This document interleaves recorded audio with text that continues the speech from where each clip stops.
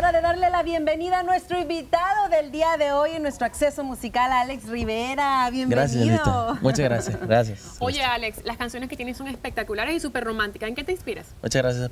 Pues eh, afortunadamente todas las canciones que he hecho me han pasado, son experiencias que me han pasado.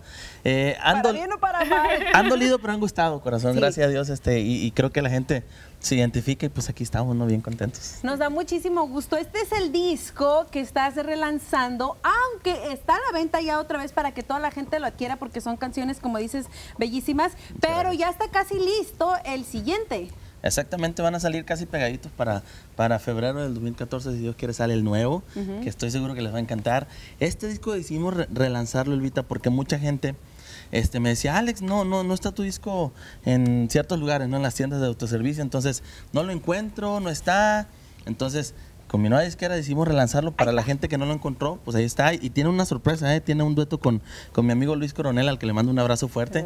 Una, ¿Eh? una canción que se llama Solo Detalles, que habla precisamente de eso, de que muchas veces eh, los hombres ya no tienen detalles, ¿no? Entonces, para que los den y para que las chavas ya crean en el amor, ¿no? Crean en el amor. ¿Tú eres detallista? Sí. sí.